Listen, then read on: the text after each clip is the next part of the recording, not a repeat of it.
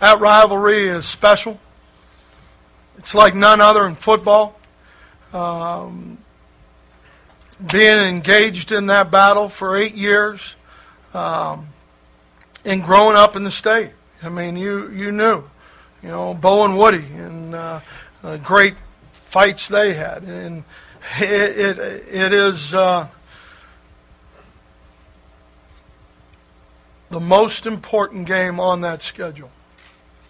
And not that the others aren't important, but it is the most important game on that schedule and how we play the game and how we prepare.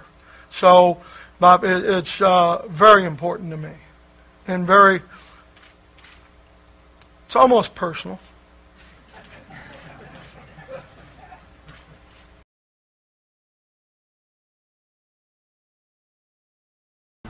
What, what separates the Ohio State game with Michigan from perhaps any other game?